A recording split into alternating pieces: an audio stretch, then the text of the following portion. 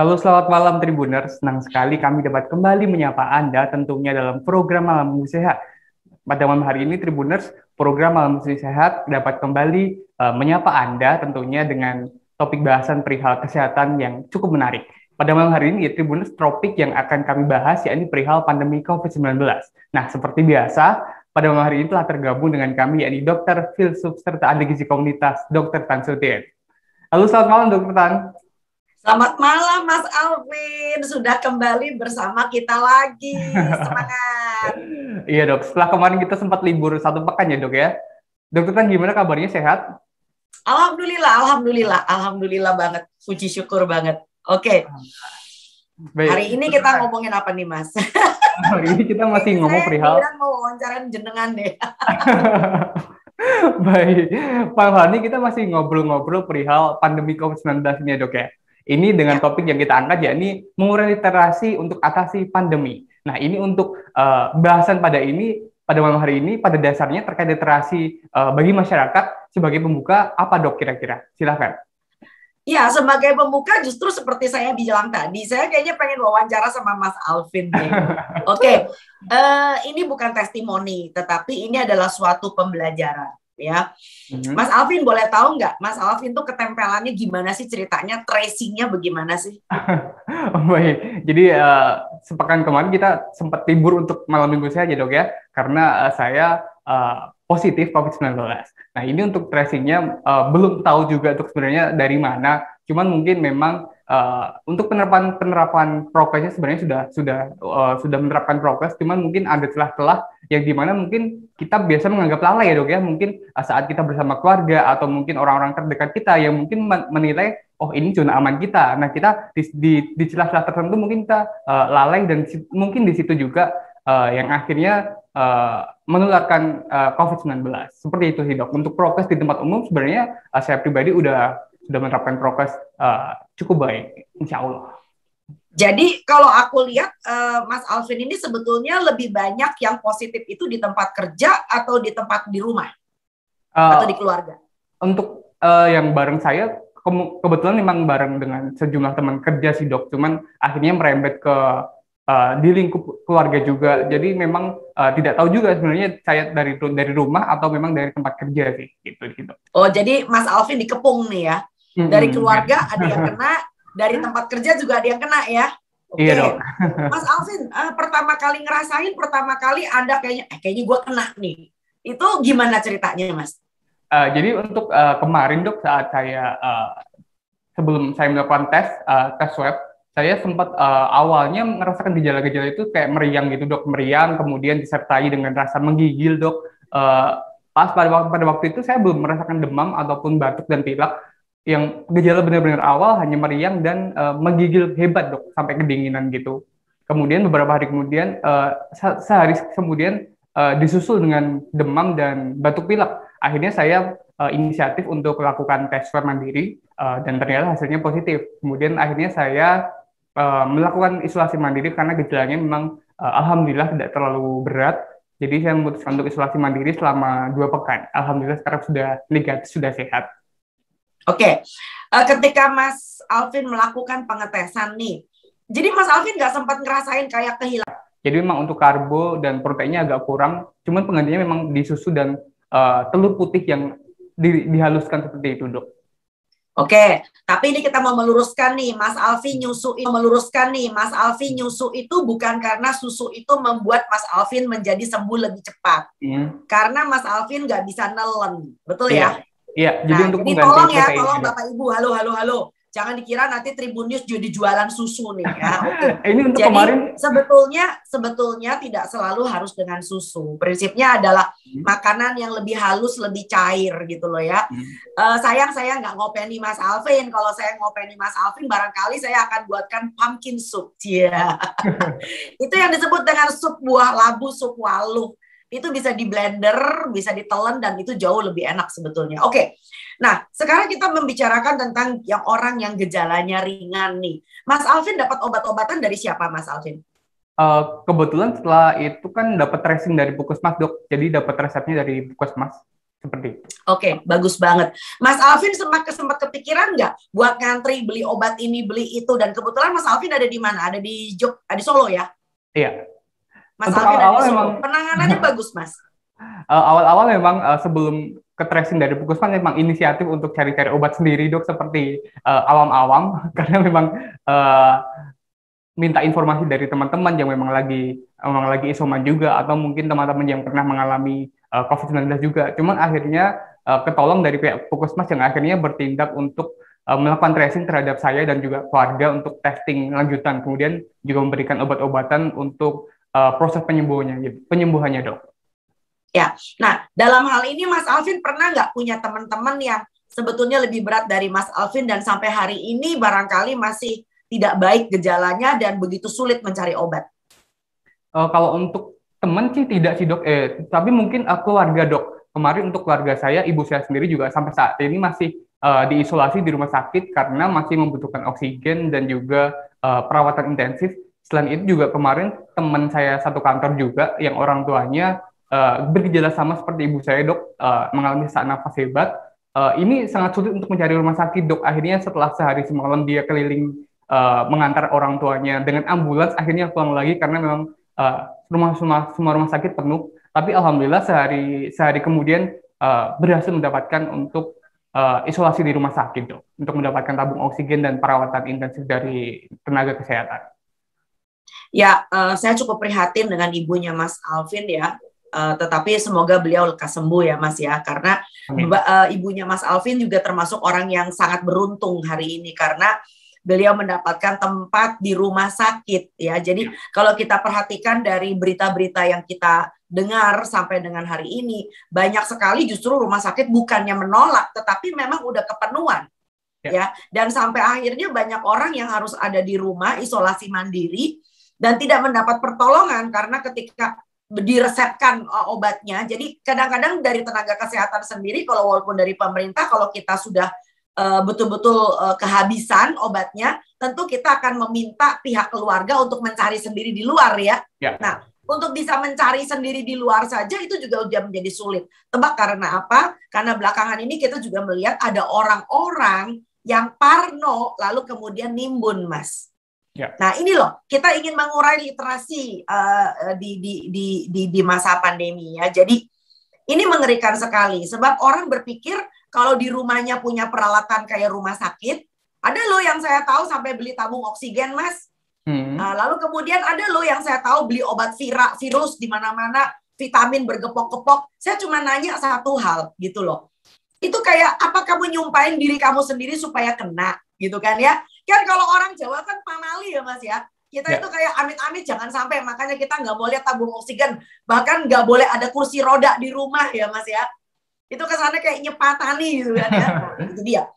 Jadi Anda punya tabung oksigen pun ya, itu untuk mengisinya juga setengah mati, bukan? Ya, jadi untuk mengisi kembali tabung oksigen juga itu sulitnya bukan main. Sekarang kita lagi antri. Ya. Jadi dalam siaran pada malam hari ini kita sama-sama ingin menghimbau bagi kalian yang masih sehat ya sudah. Satu-satunya cara untuk tetap sehat cuman apa? Prokes ya mas ya. Nah ya coba mas Alvin aja juga tadi udah bilang bahwa yaitu ada sedikit alpa nah celah itu di mana virusnya masuk ya. Karena virus itu nggak kenal Mas Alvin saudaranya siapa. Mas Alvin sohibnya om yang mana, Mas Alvin teman kerjanya konco api esopo gitu loh ya. Sebab ya. begitu konco api e kena, ya Mas Alvin juga ikut kena. Karena pada hari itu barangkali ngopi-ngopi bareng, makan-makan bareng, ada yang ulang tahun dan sebagainya ya. Jadi sekali lagi uh, saya ingin menegaskan bahwa yuk kita urai dikit literasinya, jadi kalau Anda mengatakan ada obat yang bisa mencegah, vitamin yang bisa mencegah, hmm. ada kuras-kuras hidung dan segala macam degan susu ajaib pencegah. Saya berani memastikan itu bohong. Itu hoax. Ya, jadi jadi kalau Anda juga tanya, "Dok, makan sayur sama buah mesti banyak ya, Dok, bisa mencegah Covid." Bohong. Sayur dan buah tidak bisa mencegah Covid. Yang bisa mencegah Anda ketempelan itu cuman prokes Pakai masker at all times. Nggak ada kesempatan di mana pun Anda buka. Nggak boleh, pamali, pantang. Kecuali kalau di rumah sendiri yang Anda juga tahu seluruh anggota keluarganya aman. Ya, itu pun dengan catatan semakin banyak anggota keluarga, Anda akan semakin punya risiko tertular. Betul ya Mas Alvin ya? Ya. Ya, sebab Benar. menjaga tiga orang di dalam rumah dengan kesetiaan, tentu itu lebih mudah ketimbang di dalam rumah Anda punya empat atau lima orang. Ya. Ya, dan empat atau lima orang ini kita nggak bisa pegang ekornya kan? Ya, tiba-tiba dia ngobrol sama tukang koran. Lalu tiba-tiba ada abang ojol datang ya, kemudian katanya pakai masker, tetapi ya ya bangsa kayak gitu. Diajakin ngobrol sebentar, satpam lewat didadahin, kita ngobrol sebentar. Nah itu yang kayak begitu. Jadi nggak boleh ada orang satu rumah pun yang yang berselingkuh, istilahnya begitu. Begitu di rumah atau di lingkungan kerja ada yang berselingkuh, Anda bakal punya problem ya. Jadi nomor satu tentu aja pakai masker nggak ada ampun di mana pun Ya, nah ini terutama juga bagi orang-orang yang terpaksa harus isolasi mandiri di dalam kamar, sementara di dalam keluarga itu ada beberapa yang memang masih negatif. Ya, nah ini ini ini ada triknya nanti. Ingetin Mas Alvin, saya mau ya. bicara tentang itu. Jadi nggak mungkin kan kita spesial sewa kamar hotel, apalagi duit kita pas-pasan. Pandemi kayak begini orang nggak punya penghasilan. Masa orang ini suruh kita tinggal di hotel mau berapa ratus ribu, mau berapa juta dia habis ya kan? Ya. Jadi barangkali di rumah ada tiga orang yang masih negatif, ada dua orang yang positif. Nah, kiat kiatnya bagaimana? Nah, jadi at all cost, at all times, Anda harus pakai masker. Dan yang kedua, tentu saja cuci tangan pakai sabun. Nah, kita suka lupa bahwa kita cuci tangan itu cuman kadang-kadang cuman karena kita mau makan. Cuman karena hmm. kadang-kadang kita pegang dompet. Tetapi kita lupa bahwa kenapa cuci tangan itu menjadi sedikit harus obsesif kompulsif karena kita lupa nah kayak saya nih tiba-tiba pegang rambut ya tiba-tiba ada yang gatel agak kita pegang itu juga. Yang ketiga apa? Yang ketiga adalah selalu menjaga jarak. Nah, kerap kali kalau misalnya Mas Alvin lagi ngobrol nih sama temennya satu kantor. Mas Alvin sadar nggak jarak sama koncone itu lagi betulin kabel itu cuma 50 cm, Mas. Iya. Kenapa? Konco HP. Ya temen, ya kan. Jadi kita nggak pernah melakukan yang namanya jaga jarak sampai 1,8 meter. Hmm. Ya kita andaikan itu adalah teman kerja. Dan yang keempat menghindari kerumunan. Bakalan barangkali menghindari kerumunan mudah ya. Ya, yang penting asal kita nggak uyel-uyelan atau kita udah lihat. Tapi ini pun masih tanda tanya besar. Seperti misalnya nih, Anda mau pergi ke supermarket, Anda mau pergi uh, beli belanja sesuatu lah. Kebetulan supermarketnya ada di mall. Hmm. Nah, begitu udah sampai mall, waduh, parkirnya antri, mallnya rame. Tebak apa yang terjadi? Wis nanggung, wis tekan Rene, wis loh. Udah cepetan aja wis, ya kan? Orang Indonesia tuh suka begitu, pikirnya apa? Udah nyampe, tanggung. Jadi walaupun mallnya penuh, udah terabas. Bismillah nggak ada apa-apa. Yang penting asal nggak noel orang. Nah itu orang Indonesia gitu. Yang penting nggak singgungan sama orang. Tetapi Anda nggak bisa punya jarak 1,8 sampai 2 meter. Anda nggak bisa punya jarak. Anda ngantri aja ketika bayar, Anda nggak punya jarak. Gitu loh ya. Nah ini dia kerumunan. Kerumunan yang tidak disadari. Oh saya mau belanja, nanggung, wis tekan Rene. Yang kelima apa? Orang Indonesia mengatakan bahwa semua ini penting. Jadi kalau dibilang bahwa apa Anda membatasi mobilitas itu pertanyaan menarik. Ya. Sebab orang Indonesia merasa saya keluar itu selalu penting. Ya, padahal kalau ditanya Anda polisi, bukan. Anda satpam, bukan. Bidan, bukan. Dokter, bukan. Terus ngapain keluar gitu loh. Kecuali kalau pekerjaan Anda memang esensial ya atau Anda seorang ojol misalnya ya. Nah, sekarang yang kita lihat di kerumunan itu udah orang-orang yang memang harus kerja sekarang katanya. Katanya harus kerja. Jadi itu sebabnya kenapa banyak sekali perusahaan, banyak sekali kantor disidak.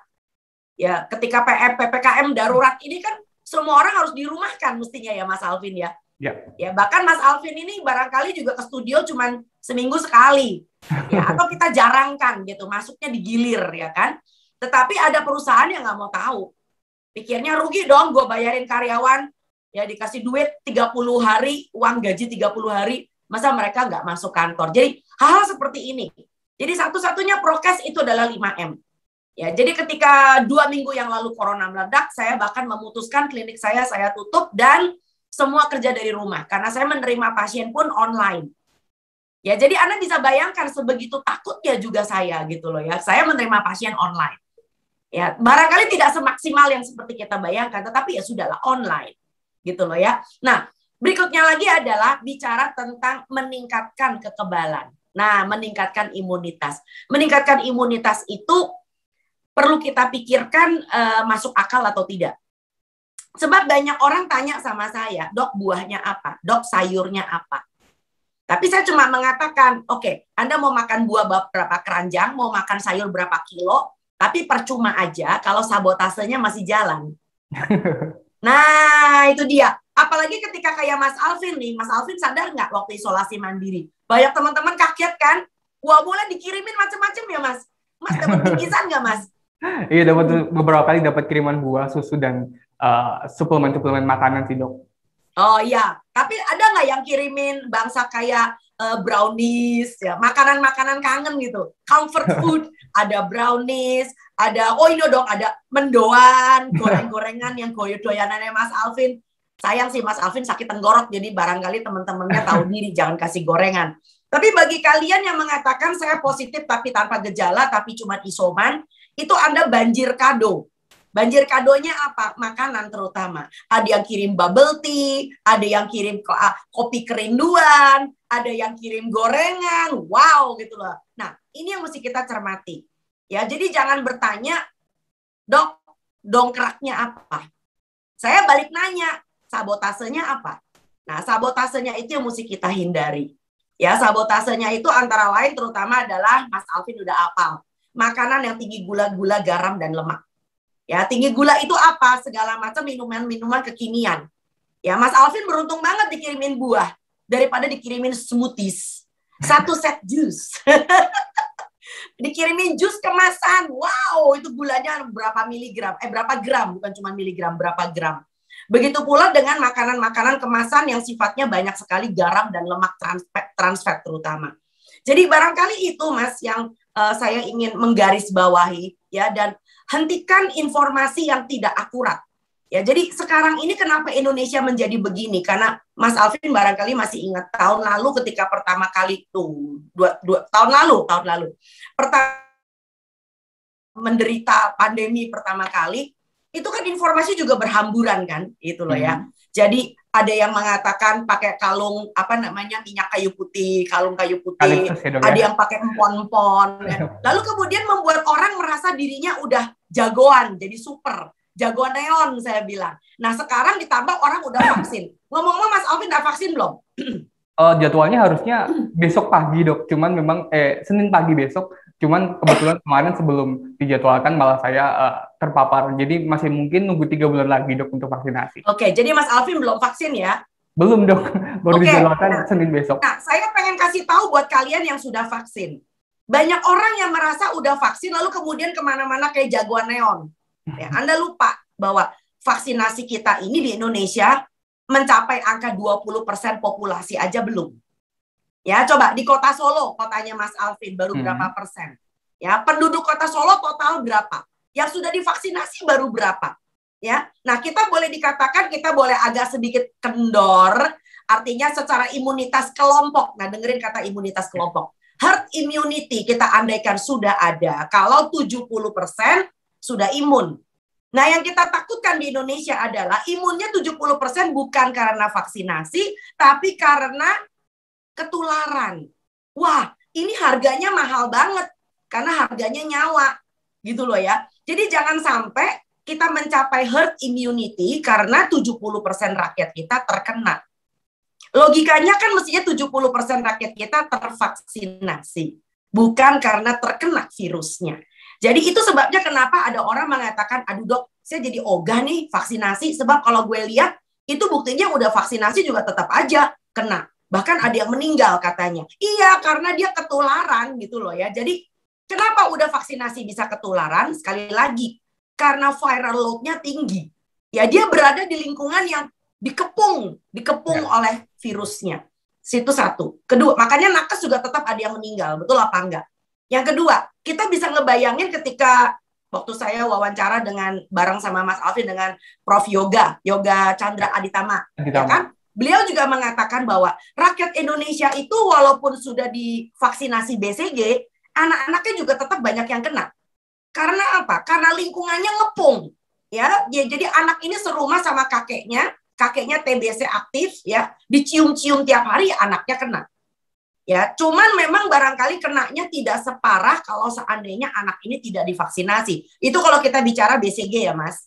Yeah. Ya, tapi kalau kena COVID ini ini nggak main-main banget, nggak main banget. Ya, karena biar bagaimanapun juga dunia juga memang masih gagap, masih gagap ya, karena ini semua serba baru. Bahkan vaksinnya itu pun dirilis dengan catatan untuk menyelamatkan supaya nggak lebih banyak korban terjadi. Ya, saat ini alhamdulillah ibu menyusui sudah boleh divaksin. ya, jadi jangan tanya sama saya nih, dok, vaksinnya apa yang aman? Semua yang sudah dirilis oleh pemerintah itu aman. Sedangkan ibu yang hamil, nah ini saya juga udah udah baca lagi rilisnya bahwa pemerintah belum ketok palu. Tetapi Perkumpulan Obstetrik Ginekologi Indonesia, jadi Perkumpulan Ahli Kebidanan Kandungan Indonesia, sudah memberikan rekomendasi Ya, karena apa? Banyak banget sekarang ibu-ibu hamil yang juga terpapar. Hmm. Akhirnya apa? Akhirnya ketika dia melahirkan, problem besar. Nah, problemnya ada di mana? Ketika dia melahirkan, misalnya brojol, dadakan, rumah sakitnya tidak siap. Ya, itu makanya kenapa kita suka dengar kabar miring ya, ada katanya ibu melahirkan ditolak segala macam. Mungkin rumah sakitnya tidak siap atau rumah bersalin bidannya tidak siap. Ya, karena mereka harus dilengkapi dengan APD ya kan? Mereka harus dilengkapi dengan uh, ruang bersalin yang khusus gitu loh ya. Kalau tidak siap bubar. Nah yang kedua tentu saja nah ini yang saya nggak suka. Kalau misalkan ibunya positif biasanya ketika anaknya dilahirkan ibunya juga lagi diobati kan hmm. ada beberapa obat yang memang antivirus yang tidak bisa uh, membuat anak ini disusui oleh ibunya karena obat antivirus ada, ada yang kontraindikasi menyusui. Nah, ini adalah suatu lubang jebakan lagi anaknya kena kena susu formula. Kan bayinya mesti makan, Mas, gitu hmm. loh ya. Jadi kita harus tepat membereskan ini semua. Supaya kalau ibu-ibu yang hamil dan sebentar lagi melahirkan, mereka bisa ditangani dengan prosedur yang aman dan anaknya bisa IMD, inisiasi menyusu dini, dan anaknya pun boleh diberikan ASI langsung.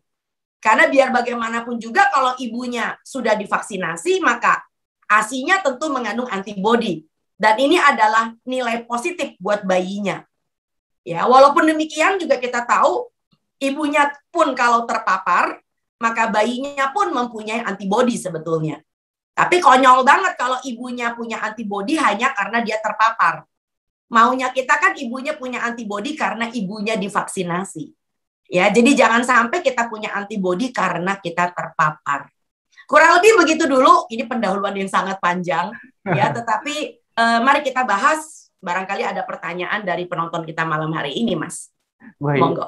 Mungkin sebelum uh, saya lanjutkan untuk perbincangan pada malam hari ini, dok, saya ingin informasikan dulu bagi Tribuners bahwa program Malam Buku Sehat ini adalah program yang ditayangkan secara live di YouTube dan Facebook Tribuners.com. Jadi bagi Tribuners yang ingin bertanya terkait topik bahasan pada malam hari ini, yakni terkait pandemi COVID-19, uh, eh, segala sesuatunya terkait gejala, mungkin pencegahan ataupun vaksinasi, bisa langsung menyampaikannya di kolom komentar YouTube maupun Facebook Tribuners.com. Nanti akan ada sejumlah pertanyaan yang terkait dengan topik bahasan pada malam hari ini yang akan saya sampaikan untuk langsung dijawab oleh Dokter Tan. Nah, kita mungkin kembali lagi untuk terkait topik bahasannya dok ya. Ini, ini dok mungkin yang lagi ramai uh, di jagat media sosial dok kemarin-kemarin ini dok. Ini mungkin uh, terkait pencegahan karena memang banyak uh, orang yang uh, termakan kabar simpang siur terkait uh, mungkin konsumsi vitamin jenis ini, jenis ini ataupun jenis konsumsi yang kemarin sempat viral juga susu susu kaleng gitu ya akhirnya yang menjadikan uh, terjadi panik buying di sejumlah daerah. Ini kira-kira untuk hal-hal peningkat imunitas untuk pencegahan uh, COVID-19 ini seperti apa sih dok? Ya, saya udah bilang kalau kita bicara tentang pencegahan cuma satu, prokes, nggak ada cara lain. Itu satu-satunya cara supaya kita tidak ketempelan. Nah, Tentu selain preventif ada promotion, makanya disebut dengan prevention and promotif ya kan. Nah, promotifnya apa? Promotifnya adalah supaya kita itu kalaupun seandainya terpapar gitu loh ya, pun kalau terpapar, kita lebih mudah untuk bisa menangkal virusnya untuk tidak menjadi lebih buruk. Nah, biasanya uh, perburukan itu terjadi kalau Anda punya komorbid. Nah, kabar baiknya Mas Alvin masih super extra strong nih Ya, tapi kebayang nggak kalau misalnya Mas Alvin itu amit-amit jabang bayi, punya hipertensi, punya asma, punya pengentalan darah, ya, punya diabetes. Jadi itu adalah suatu hal yang membuat Anda menjadi lebih lebih mudah, lebih rentan untuk ya. bisa bertahan begitu loh ya, untuk tidak sampai masuk ICU. Jadi yang paling penting adalah sekali lagi promosi kesehatan itu harus kita pahami bahwa tidak ada cara jitu satupun untuk meningkatkan kekebalan tubuh. Ya, jadi harus ada serempak. Yang pertama adalah tentu saja mengkonsumsi makanan yang sehat. Saya udah bilang tadi, buang sabotasenya. Jadi lebih banyak sayur dan buah itu baik dan sehat. Karena apa? Sayur dan buah ini juga mengandung yang namanya prebiotik. Prebiotik itu adalah serat tidak larut yang di dalam usus memberi makan kepada probiotik kita. Nah, karena itu, begitu probiotik Anda sehat di dalam usus, maka ini adalah imbuhan untuk kestabilan imunitas manusia. Ini aja nggak cukup, harus ya. yang ketiga. Apa yang ketiga? Yang ketiga adalah kita bicara tentang orang yang aktif secara fisik. Sebab orang yang hidupnya aktif, ya, kena matahari, masih olahraga, tentu ini mempunyai imun sistem yang lebih sehat. Dan yang keempat, tentu saja Anda harus punya tidur cukup. Ya, jadi percuma aja Anda makan vitamin satu raup, dua dua dua kresek ya, tetapi sering begadang. Ya, karena begitu Anda cukup tidur, Anda cukup istirahat, Anda juga punya mood yang bahagia. Ngomong-ngomong Mas Alvin waktu waktu di isolasi mandiri itu bahagia nggak Mas? Oh, bahagia alhamdulillah, Dok. Bahagianya kenapa? Ya, nggak usah kerja. karena masih uh, saling berkabar dengan kerabat dan juga teman-teman sih, Dok. Jadi untuk uh, karena nggak ada hiburan lain tuh selain pegang handphone, jadi mungkin saling berkabar itu uh, salah satu peningkat imun yang cukup baik juga sih, Dok. Bagus, benar banget. Jadi kabar-kabar buruk itu atau yang disebut dengan saya mengatakannya isolasi informasi ya. Jadi informasi-informasi harus Anda pilah-pilah. Sebab dunia ini banyak sekali provokator yang nakut-nakutin. Hei, lu baik-baik lo, oksigen lagi minim. Lu mesti punya nih oksigen berapa tabung nih. Gue punya kenalan, lu mau nggak mumpung murah? Nah itu dia. Lama-lama setelah kita udah nggak ada pandemi bingung ini tabung oksigen ono teluar gawe opo mau mau piara ikan apa gimana gitu kan ya punya kolam pakai tabung oksigen. So ini nggak masuk akal kan gitu loh ya. Jadi memilah informasi itu penting. Lalu kemudian membuat diri kita menjadi berguna dan bahagia. Ya sebab bisa berguna tuh karena apa? Karena kita juga bisa menyemangati orang satu sama lain kan mas. Bisa saling memberikan kabar. Ya mas e, nonton film kesukaan nggak mas Berasa kayak terbang lama Jakarta Amerika tiga hari gitu. tiga kali 12 jam. Sampai semua Harry Potter apal isinya. Mas gimana mas? Kebetulan nggak sempet sih dok karena memang uh, lebih lebih banyak untuk berkabar dengan orang tua dan keluarga yang juga juga, juga saling isolasi juga sejumlah teman yang juga saling isolasi hmm. jadi mungkin lebih banyak video call dan juga saling berkabar uh, terkait kondisi dan juga saling mengingatkan juga mungkin dok sharing-sharing gitu dok. Nah, bagi kalian yang senang science fiction, senang koleksinya Harry Potter, itu lumayan ada berapa seri dan Anda tidak diganggu.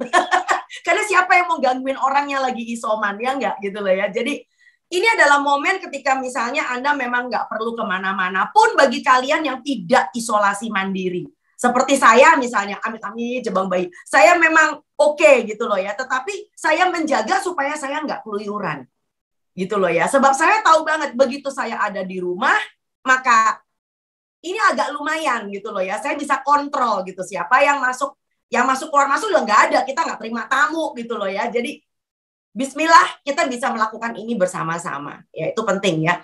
Nah yang berikutnya lagi tentu saja bicara tentang imunitas adalah bicara tentang keseluruhan hidup manusia. Jadi nggak ada satu cara pil ajaib tongkat ajaib, makanan ajaib yang tiba-tiba membuat Anda imun boosternya lalu naik. Itu nggak ada sama sekali.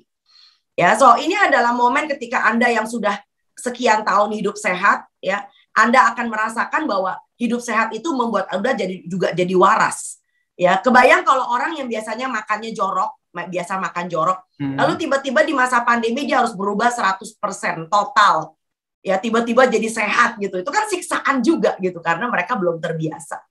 Gitu, Mas. Baik. Mungkin selanjutnya, Dok, kita ingin membahas perihal ini yang cukup banyak uh, kasusnya juga, Dok, terkait false false negatif, Dok. Ini seperti apa, Dok? Karena memang banyak kasus juga yang uh, swab awalnya negatif, kemudian beberapa hari kemudian uh, swab lagi dan akhirnya menjadi positif. Ini seperti apa, Dok, untuk penjelasannya? Oke. Nah, ini tidak tertutup kemungkinan saya mau bicara tentang istilah lockdown. Ya, kenapa di negara-negara sana berlaku lockdown sampai dua minggu? Karena kita bicara bahwa virus ini akan memanifestasikan diri, menunjukkan dirinya itu dalam kurun waktu 12 14 hari. Jadi kita bisa tahu bahwa manusia ini terinfeksi atau tidak kalau selama 14 hari dia bisa memonitor dirinya. Ya, karena virusnya akan pun kalau misalnya ini orang OTG misalnya. Misalnya saya OTG nih ya, amit-amit saya OTG. Orang OTG namanya juga namanya nggak ada gejala kan. Pun kalau dia diam selama dua minggu, maka virus yang ada di badan saya juga akan menyusut, mereda. Dan saya nggak sempat nularin ke orang-orang gitu loh. Karena saya nggak ketemu sama siapa-siapa. Nah, sekarang kita ngomong seperti apa yang Mas Alvin tadi barusan tanya. Bagaimana dengan kata-kata false positif, false negatif. So, contoh nih misalnya, saya berangkat dari Jakarta mau ketemu sama Mas Alvin ke Solo. Hari ini saya berangkat. Misal nih, amit-amit, saya ketempelan sama orang di perjalanan, di taksi hari ini. Maka ketika saya nyampe di Solo, saya di swab, itu masih negatif dong mas. Ya, nah artinya bukan berarti saya negatif. Ya. Maka saya harus tunggu. Itu sebabnya kenapa orang-orang yang masuk ke negara kita itu harus ada yang namanya karantina. Karantina itu tidak sama dengan isolasi mandiri. Kalau isolasi artinya orangnya udah positif lalu dia mengurung diri. Tapi kalau karantina sama-sama mengurung tetapi kita belum ada kepastian. Ya, kita masih kayak kita lagi observasi ini orang beneran negatif atau beneran positif. Karena apa? Kita membutuhkan virusnya untuk bereplikasi. Ya, beranak pinak istilahnya begitu untuk bisa membuat swab ini menjadi menghasilkan positif. Karena virus ini tentu bereplikasi di media hidup, di sel yang hidup yaitu badan kita. Badan kita adalah medium dari si virus itu untuk berkembang biak. Jadi kalau seandainya Anda melakukan swab pada hari pertama Anda kontak, belum tentu pasti hasilnya menjadi uh, positif tentu saja. Nah, tetapi tunggu lima hari misalkan, ada kemungkinan swabnya masih negatif. Tetapi begitu hari ketujuh, biasanya kalau Anda ketempelan, swabnya itu tentu akan positif. Nah, yang bisa kita lakukan adalah kalau Anda swabnya negatif, tetapi Anda uh, terpapar atau punya risiko terpapar, yang kita lakukan adalah PCR. Ya, jadi kalau PCR itu adalah konfirmasi. PCR itu adalah semacam apa ya? Uh, the golden standard untuk hmm. mengetahui apakah Anda itu terkonfirmasi positif atau tidak. Begitu, Mas. Ya, itu juga sebabnya kenapa PCR juga dilengkapi dengan angka yang disebut dengan cycle eh, CT. Nah, kita ngomongnya CT aja deh, CT, uh, cycle threshold. Jadi artinya Anda punya spesimen ini diputer pakai semacam alat. Jadi berapa kali puteran. Kalau misalnya ini pakai cara bodoh ya, mohon maaf nih. Kalau misalnya baru tujuh kali puteran aja virusnya udah menampakkan diri, artinya memang virusnya banyak nih. Hmm. Tapi ada yang diputer sampai 30 kali puteran, baru virusnya nongol. Itu sebabnya kenapa angka CT itu bisa menunjukkan apa yang parah atau tidak. Nah, tetapi CT alone ya angka CT saja itu tidak bisa uh, dijadikan satu-satunya patokan Anda untuk melakukan uh, apa namanya menghentikan isolasi mandiri. Ya, jadi uh, karena begini Mas, kadang-kadang ada orang CT-nya tinggi tapi gejalanya parah. Ya, hmm. gejalanya tuh sampai pusing, sampai uh, keringat dingin, masih dengan demam. So, ini orang belum boleh lepas gitu loh ya. Tapi sebaliknya seperti kayak Mas Alvin misalkan, alhamdulillah baru 12 hari tiba-tiba bukan cuma CT, PCR-nya aja udah negatif gitu loh ya. Artinya memang daya tahan Anda baik, virusnya minggatnya cepet banget gitu loh. Jadi sekali lagi harus dikonfirmasi dengan kondisinya, dengan apa namanya uh, uh, uh, keadaan tubuh Anda. Sebab ada beberapa orang juga PCR-nya tetap positif sampai dua bulan misalnya. Karena hmm. yang di yang yang yang dideteksi itu itu bukan virus utuhnya, tetapi fragmen virusnya masih ada. Makanya kenapa di dalam PCR itu bisa saja positif walaupun orang ini sudah tidak menularkan lagi. Hmm, ya. Baik, jadi terkait false negatif bisa dikatakan bahwa memang jika seseorang mungkin uh, habis bepergian luar kota ataupun mungkin kontak erat ya dok ya ini untuk tidak langsung melakukan tes atau menunggu sekitar sekitar lima hari untuk melakukan tes agar hasilnya lebih akurat. Bisa dibilang seperti Betul. itu. Betul. Betul. Itu adalah false negatif. Jadi jangan keburu senang Anda baru turun dari pesawat, Anda tes Anda negatif. Itu sebabnya kenapa orang turun dari pesawat Anda perlu karantina. Baik. Karena Anda bisa aja dapetin dari perjalanan Anda. Baik, mungkin kita bisa masuk ke tanya jawab dok untuk sesi ya. selanjutnya. Ya. Oke, saya bacakan untuk pertanyaan pertama, dok. Uh, ini terkait isolasi mandiri, dok. Dok, saya ya. lagi isolasi mandiri. Tetangga pada berikan vitamin kipi, obat cacing, interfermesin, kemudian in, in, in. susu, kemudian susu kaleng. Apa bisa mempercepat penyembuhan, dok, untuk COVID-19? Kemudian uh, telemedicine mau tebus obatnya pada kosong, dok. Ini jadi harus bagaimana ya, dok ya? Oke, nah satu persatu. Tolong jangan sampai tetangga ini saling jadi dokter. Ini penting ya. Jadi kalau Anda adalah tetangga orang yang sedang isoman ya, sebelum Anda membelikan macam-macam tanya dulu. Mas, ada resep yang bisa saya bantuin nggak? Ini penting. Jadi tanyakan resepnya. Ya, jadi kan sekarang kan orang yang isolasi kan nggak boleh ngantri ke apotek ya Mas ya. Kalau jebul-jebul ke apotek ya namanya nggak isolasi. Iya. Punya resep dokter nggak? Oke, lalu kemudian sekarang kita sudah punya di tahun 2021 era telemedicine. Artinya apa? Telemedicine adalah cara berkonsultasi dengan nakes yang profesional, yang legal, tanpa harus bertatap muka datang ke kliniknya. Dan di situ dokter yang ada di dalam telemedicine itu memberikan resep juga secara legal. Jadi jangan sampai seperti kayak kita berdua, Mas saya legal ya, saya punya izin praktek, tetapi saya itu tidak terdaftar di telemedicine, tapi kita ber, berhubungan baik. Lalu Mas Alvin nanya, Dokter Tan, saya lagi radang nih resepnya apa? Lalu saya ngomong pakai WA, Mas resepnya ini. Walaupun saya dokter legal, tapi resep saya tidak legal. Ya, jadi teman-teman harus tahu nih, ya artinya disebut dengan peresepan dengan cara legal. Karena apa? Karena kalau telemedicine itu semua tercatat rapi. Jadi kalau ada apa-apa bisa ditelusuri, ada yang bisa dimintai pertanggungan jawabnya. Ya, so ini penting ya. Nah, apalagi kalau tetangganya dengar dari mana lagi Anda diresepkan ivermectin, obat cacing dan sebagainya. Nanti dulu. Ya. Eh saya lupa hari ini apa kemarin ya, saya juga lupa. Ada tulisan yang bagus banget dari salah seorang penguji S3 saya yang saya hormati Prof Rianto Setiabudi Nah, beliau ini adalah seorang farmakolog, guru besar uh, farmakologi. Beliau ini menulisnya bagus banget. Dia mengatakan bahwa yang disebut dengan uh, etisnya, legalnya, obat itu kan ditelusuri di, di maksudnya obat itu diteliti dulu. Ya, itu yang disebut dengan studi berbasis bukti. Ya, ditelusuri di apa uji coba lalu kemudian baru dipasarkan. Betul ya? Baru diterapkan pada orang yang sakit. Nah, tetapi kalau seandainya terbalik, ya terbalik nih, yang disebut dengan eh, apa namanya berbasis pelayanan, wah ini repot urusannya. Karena apa? Karena WHO sendiri, jujur ngomong nih, WHO sendiri itu mengatakan bahwa ivermectin itu masih dalam taraf uji coba. Ya, jadi nggak boleh dipakai untuk pelayanan dulu gitu loh. Jadi nggak bisa pakai menggunakan katanya. Ya, karena biar gimana pun juga ivermectin itu adalah hepatotoksik, artinya obat yang sangat uh, apa namanya uh, beracun bagi kita punya liver, kita punya hati. Jadi tolong diingat bahwa nomor satu virus itu sendiri adalah self limiting. Self limiting itu artinya kayak seperti Mas Alvin barangkali. Saya nggak ngerti Mas Alvin dapat obat antivirus atau tidak.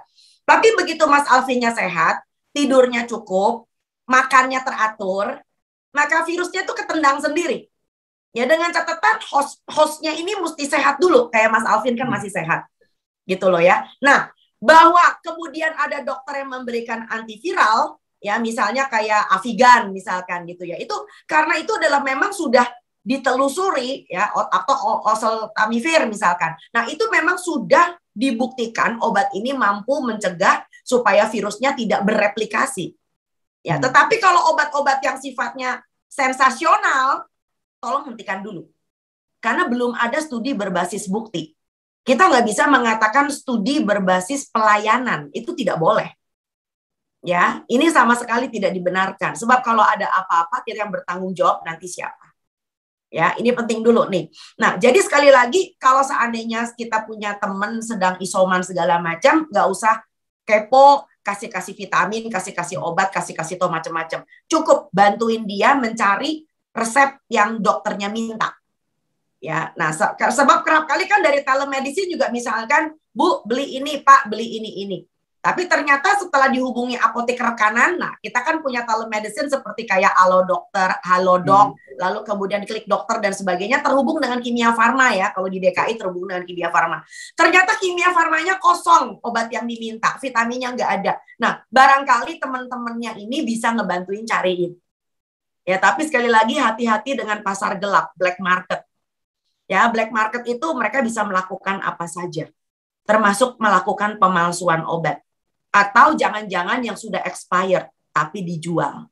Ya, jadi ini gunanya kenapa kita sebagai masyarakat yang masih amit-amit masih sehat, tahu diri. Supaya apa? Teman-teman kita yang lagi butuh, mereka tuh setengah mati loh. Gitu loh ya.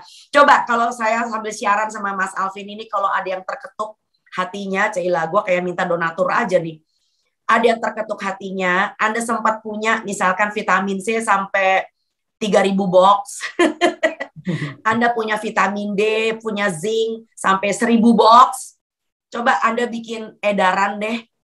Saya punya ini, saya punya itu atau daripada Anda digeruduk, Anda tanya, siapa yang butuh? Sini saya coba cariin, cie, coba cariin padahal sebetulnya lo punya gitu kan. Maka Anda itu berjasa banget bagi orang lain. Dan please jangan ambil keuntungan. Karena pandemi ini adalah bicara tentang masalah kemanusiaan Ya, jadi alangkah tidak berakhlaknya manusia ketika ada orang yang sakit lalu kita mengambil untung. Gitu loh ya. Barangkali itu aja, Mas. Baik, mungkin masih menyambung tadi yang sempat dokter kan uh, sampaikan terkait mengambil untungan di masa pandemi ini, dok. Mungkin saat ini juga yang lagi ramai ini terkait uh, peralatan-peralatan medis yang uh, mendadak menjadi harganya naik berkali-kali lipat ini, dok. Ini ada pertanyaan yang terkait hal tersebut, dok. Mungkin bisa dijawab juga. Dokter Tan, untuk peralatan medis seperti apa yang wajib harus di stok di rumah, dok? Jikalau ada orang yang isoman di rumah supaya mandiri dan tidak tergantung orang lain. Normalnya saturasi oksigen untuk isoman berapa ya, dok ya? Saya bukan penjual, jadi saya nggak bisa buka harga. saya bukan pasar pagi, oke? Okay? So, yang minimal Anda harus punya adalah tentu termometer. Pertama termometer. Kedua, kalau memang banget butuh, memang kita butuh yang namanya oximeter. Oximeter. Ya, tapi Mas Alvin aja nekat gak punya oximeter lolos tuh. Sekarang dia tuh mau cari oximeter buat apa? ya, jadi yang penting nomor satu Anda nggak boleh panik. Sebab begitu Anda panik, itu udah pukul separoh tuh kekebalan hmm. tubuhnya. Ya nggak ada orang panik bisa berpikir waras, betul atau tidak? Ya, ya. hanya orang yang tenang bisa berpikir waras. Ya, orang tenang itu mengandaikan bahwa hmm, kena nih. Oke. Okay. Oke, okay, apa yang nomor satu yang perlu Anda lakukan? Ya, barangkali SOP hidup. SOP hidup itu apa? Saya perlu makan. Saya barangkali kalau yang perempuan nih lagi mens, ya. Jadi Anda butuh orang-orang yang memberikan Anda kebutuhan hidup. Ada yang beliin pembalut, ada yang beliin sayur, ada yang beliin buah, ada yang kasih rantangan, itu dulu. Ya. Oke, saya udah janji tadi ngomong sama Mas Alvin. Gimana dong kalau satu rumah ada yang kena, ada yang tidak? Mbak, jadi artinya yang kena itu tetap harus di kamar, nggak boleh ke mana-mana. Ya, jadi nggak ada misalnya, aduh suntuk nih, lagi di kamar gue nggak ada televisi, televisi adanya di ruang tengah. Udah deh, gue keluar bentar deh, pakai masker. Itu namanya bukan isoman, tolong. Jadi kalau kamu isoman, ya kan udah deh, udah, udah, udah, udah. Di dalam kamar nggak keluar nggak ada di ruang keluarga pakai masker, pakai kerudungan, pakai jas hujan, nggak ada. Jadi isoman itu betul-betul di dalam kamar. Dok, tapi di kamar saya nggak ada WC. Gimana dong kalau saya melakukan kewajiban yang nggak bisa saya lakukan dengan orang lain? Oke, mau pipis, mau ee, mau mandi. Caranya adalah yang positif pakai kamar mandi terakhir. Nah ini penting. Jadi kalau Anda pakai kamar mandi bersama nih, jadi Anda teriak dari kamar, eh buruan cepetan mandi habis lo pada gue mau pakai nih. Nah, gitu ya. Jadi kamar mandinya itu boleh dibilang masih lebih lumayan ya, tidak terekspos dengan Anda punya uh, liur dan sebagainya, lebir dan sebagainya. Dan yang lebih penting lagi adalah kalau Anda punya kamar mandi dengan jendela, buka kamar mandinya. Bukan berarti buka lalu semua orang utuh, lo semua bisa lihat lo ya. Artinya jendelanya dibuka. Jadi harus ada ventilasi, itu penting. Dan kalau Anda sebagai orang yang positif dan Anda pakai kamar mandi, setelah Anda mandi, setelah sikat gigi, setelah segala macam, tolong Anda bersihkan kamar mandi sekalian ngosek. Ya, ini penting ya. Jadi hmm. orang yang bertugas ngosek itu Anda. Jadi Anda pemakai kamar mandi terakhir dan Anda yang ngosek. Ya. ya tentu saja dengan apa namanya dengan terserah mau pakai deterjen pembersih kamar mandi whatever. Kurang lebih seperti itu juklaknya mas. Baik, lalu tadi dok terkait uh, angka saturasi oksigen untuk orang yang isoman ini normalnya di, di angka berapa dok? Ya, kita mengandaikan orang kalau uh, yang yang yang yang masih bagus itu tentu 95 ke atas ya, patokan kita lah. Hmm. Tapi kalau Anda sudah di batas 95, biasanya itu karena Anda sering batuk. Hmm. Anda sering batuk, Anda mulai sesak gitu loh. Dan yang butuh bantuan adalah kalau saturasi oksigen ya sudah 95 dan mulai turun. Itu yang kita nggak suka. Ya, jadi saturasi oksigen normal itu sebetulnya kalau kita mau ngomong ya 95 ke atas.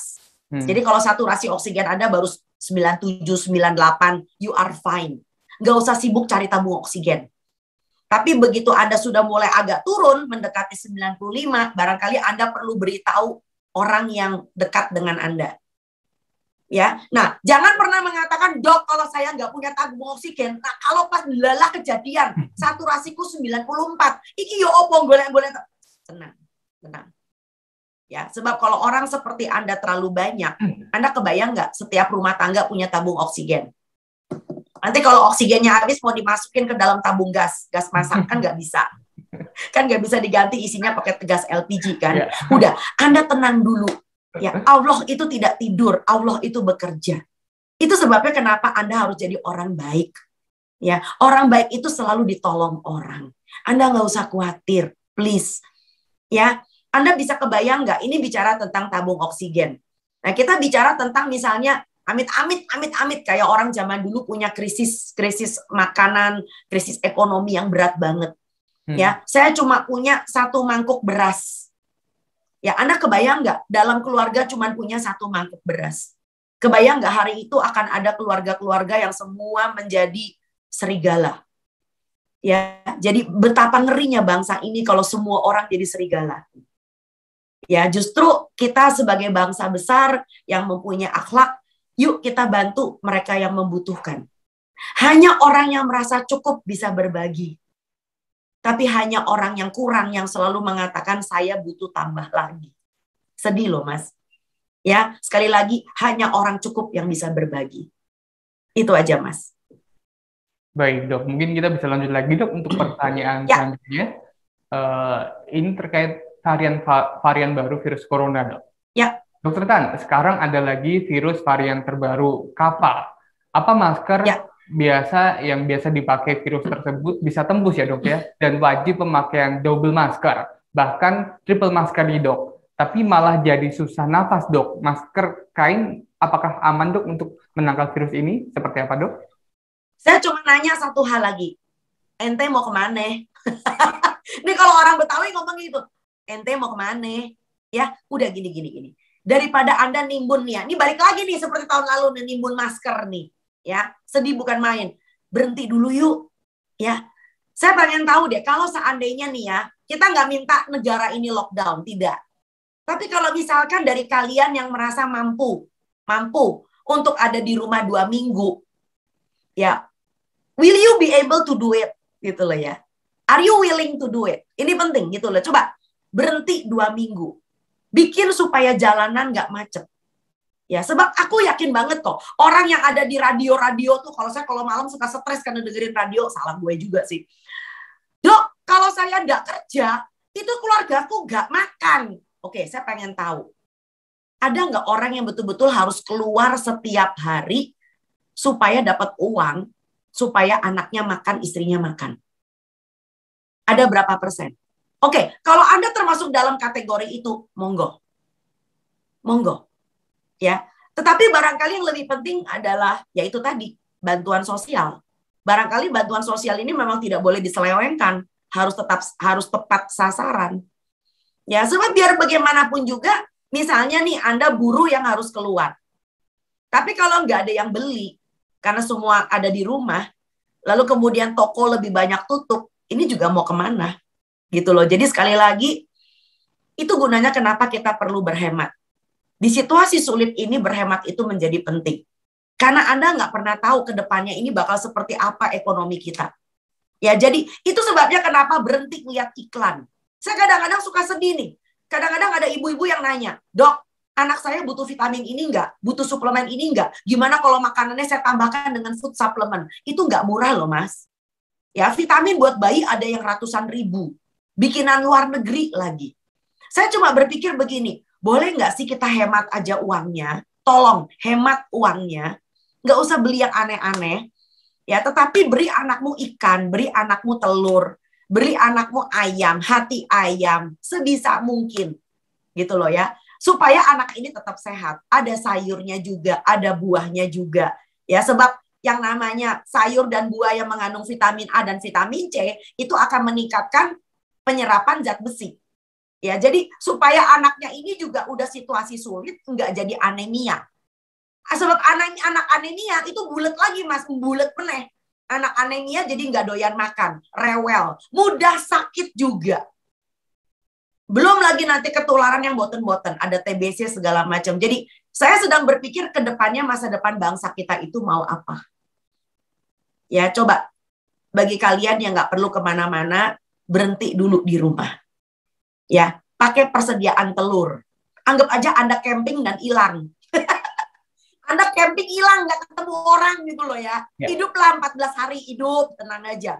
Anda punya kan mie instan itu kan, udah pakai 14 hari. Jangan ke mana-mana. Saya pengen tahu. Sebab begitu jalanan mulai lenggang, begitu semua mulai sirep, virusnya juga akan melandai, Mas. Sebab virus itu akan mengikuti gemah ripahnya kita. gitu loh ya. Begitu, Mas. Silakan teruskan. Baik. Kita lanjut lagi, Dok. Ini masih terkait varian virus corona ya. lagi, Dok. Dok, varian virus COVID Alpha, Delta, Kappa, ini cara treatmentnya apakah sama, Dok? Untuk vaksin yang sudah ada dari Sinovac, AstraZeneca, apa bisa untuk varian virus terbaru atau tunggu vaksin untuk virus yang terbaru lagi ya dok ya? Oke, sependek yang saya tahu, saya bukan ahli virus, saya bukan satgas imunisasi, tetapi sependek yang saya tahu, ya, ya sampai dengan hari ini, vaksinasi yang Anda miliki itu aman dan bisa menanggulangi. Bisa menanggulangi tetapi dengan catatan. Ada lagi catatannya nih. Ya, virusnya nggak dibangunin. Caranya bagaimana? Sekali lagi, berhenti. Sebab begitu kamu berhenti, maka virus ini akan berhenti. Tapi begitu Anda kekeh, Anda masih keluyuran, ini akan mutasinya akan jalan terus. Anda perhatikan nggak Delta itu awalnya kan dari India ya? Yeah. Ya, karena apa? Karena ya Anda tahu apa yang terjadi di India pada waktu itu. Nah sekarang Eropa, Eropa sedang sedang ricu lagi. Karena ingat nggak waktu itu Mas Alvin sempat tanya, dok, itu pemimpin dunia yang G20 udah mulai pada lepas masker. Nah, begitu Anda mulai nantangin lagi, Anda mulai kembali lagi ke lagu lama cerita biasa, tebak apa yang terjadi? Di Eropa udah mulai lagi. Itu kalau nggak salah itu yang varian lambda. Ya, nah sekarang udah lagi muncul epsilon. Kalau nggak salah epsilon dari Afrika. Gitu loh ya. Karena ya sekali lagi aktivitasnya tuh muncul. Ini mengerikan luar biasa. Coba belajar tenang, belajar mengendap dulu.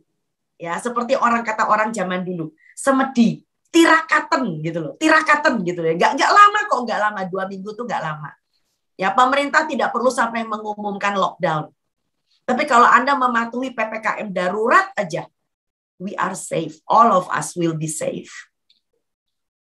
Baik, kita lanjut lagi dok untuk pertanyaan selanjutnya. Ini ya. terkait uh, isolasi mandiri dok. Dokter Tan, kalau lagi isolasi mandiri hanya makan tidur dok, selesai isoman selesai isoman selesai malah jadi gemuk. Itu apa untuk tambah imun ya dok ya? Soalnya teman bilang jangan diet saat isoman supaya tidak drop. Apakah itu benar dok? Kemudian ini juga masih pertanyaan yang hampir sama dok. Dokter Tan, uh, untuk tipsnya agar tidak stres selama 14 hari isolasi mandiri, caranya seperti apa ya dok ya? Silakan. Oke, nomor satu Nggak ada orang yang ngajarin diet. Nggak ada orang yang ngajarin diet ketika Anda isolasi. Tapi bukan berarti makanmu berantakan. Ya, saya nggak mau keluarin lagi deh isi piringku, udah bosan ngeliatnya. Itu dokter Tan dan isi piringku. Tapi bayangkan kalau Anda sambil isolasi mandiri, ya Anda tidak dihajar. Itu yang saya bilang tadi, sabotase-sabotasenya nggak dihajar. Ya, nggak nggak nggak menghancuri badan Anda. Anda masih aman kok. Ya, Anda perbanyak makan sayur, Anda perbanyak makan buah, ya karbohidrat secukupnya lah kan Anda nggak kerja kuli di dalam kamar kan oke lalu ditambah dengan protein jangan lupa dengan protein Enggak, enggak dia bikin gemuk. Lalu di dalam kamar itu bukan cuma bengong di atas ranjang, senderan pakai bantal, lalu kemudian main HP. Di dalam kamar Anda bisa melakukan apa? Sholat lima waktu masih bisa kan ya? Nah, ya. orang kalau sholat itu kan pasti ya ada rukunya, ada pasti ya. itu bergerak dong minimal. Oke. Okay. Lalu kemudian Anda usahakan di dalam kamarmu yang kecil itu Anda masih melakukan peregangan. Anda kerjain plank, cia. Anda masih ngerjain sit up. Ya, nanti keluar isoman malah keren loh awalnya langsing, ototnya kencang, wah cakep gitu loh ya. Dan kamu mandi kan gitu. Isolasi mandiri tetap mandi toh gitu loh ya. Jadi habis sarapan, Anda olahraga, lari-lari kecil di tempat, lalu kemudian mulai ngerjain plank, kerjain pilates, kerjain yoga, mandi, lalu Anda ngerjain hobi Anda. Nah, ini gunanya kenapa ketika isolasi mandiri itu sebetulnya manusia diminta untuk mengendap. Anda itu terlalu tunggang langgang kalau saya jadi Anda, saya nggak mengatakan bersyukur ya, amit-amit juang bayi. Kalau saya jadi Anda, tebak apa yang saya lakukan? Saya barangkali akan menulis buku baru. Itu keren banget loh, ya. 14 hari, Anda kan bisa pakai laptop, bisa pakai HP lah minimal. Anda bikin blog. Anda bikin blog. Anda punya hobi apa? Pinter gambar, bikin kartun. Kartun tentang orang isolasi mandiri. Ya, dari kartun iseng sampai kartun serius. Ya, Lalu apa lagi? Anda punya hobi apa? Saya nggak ngerti ya belakangan ini jarang perempuan itu merajut ya. Anda bisa dapetin, ah, Anda bisa dengan mantel dan selimut dan tas rajutan. itu enggak selesai-selesai loh itu. Banyak banget gitu loh ya. Sebentar lagi kita mau ada Idul Adha, ya kan? Sebentar lagi Idul Adha. Nah, sekarang di dalam isolasi mandiri Anda bisa membuat aksi sosial lewat lewat internet. Hmm. So itu adalah perbuatan ketika Anda isolasi dan itu bermakna bagi orang lain. Gitu loh ya. Jadi eh, bagaimana kita juga bisa berbagi Anda menggalang dana. Saya punya teman ketika isolasi mandiri dia bisa menggalang dana loh buat hmm. orang-orang duafa. Itu kerennya bukan main. Mana dia nggak bisa lakukan ketika dia lagi kerja sibuk karena yeah. dia punya waktu. Hmm. Tapi karena dia punya waktu, dia mengatakan ya Allah, aku ditegur sama Allah. Nah, itu saat 14 hari dia isolasi, lalu dia menjadi orang yang betul-betul baik, bukan main. Ya, barangkali itu aja Mas. Belum apa-apa udah jam jam 8 nih. Baik dok, ini karena kita udah hampir satu jam berbincang perihal pandemi COVID-19 ini dok, mungkin sebelum kita akhiri perbincangan pada hari ini, uh, silakan dokter Tan untuk closing singkatnya. Ya, sekali lagi. Ya, yang Anda hadapi pada saat ini adalah virus. Virus itu tidak pandang bulu, tidak pandang pekerjaan apalagi status. Hmm. Jadi bijaklah. Ya, kita tidak mengatakan kita berdamai dengan virusnya. Saya nggak mau berdamai dengan virusnya. Tetapi pertanyaannya, Anda dikontrol oleh virusnya atau Anda mengontrol virusnya dan pandeminya? Sebelum Anda bisa mengontrol virus dan pandeminya, Anda perlu barangkali perlu mengontrol diri Anda sendiri. Caranya bagaimana? Sekali lagi, jadilah orang yang tenang, jadilah orang yang kembali ke asal. 14 hari di rumah saja, itu bukan waktu yang lama. Anda tidak dipenjara 14 tahun. Anda cuma 14 hari, berhenti. Sebab apabila Anda dan saya berhenti, maka virusnya akan berhenti. Itu saja dari saya, Mas. Baik. Itu gunanya kita punya PPKM darurat. Baik, menahan diri selama 14 hari untuk menaati PPKM darurat dari pemerintah ya dok ya, seperti itu ya dok ya. Baik, terima kasih dokter Tan untuk perbincangan pada malam hari ini terkait pandemi COVID-19. Sampai jumpa dok untuk malam minggu pada episode selanjutnya. Selamat malam. Selamat malam. Demikian Tribuners bincang-bincang kami bersama Dokter Tan pada malam program Malam Sehat pada malam hari ini. Program Malam Gue Sehat akan kembali menjumpai Tribuners pada Sabtu pekan depan pukul 19 waktu Indonesia Barat tentunya bersama saya Alvin Wahyu. Saya Alvin pamit undur diri. Sampai jumpa. Terima kasih sudah nonton. Jangan lupa like, subscribe, dan share ya.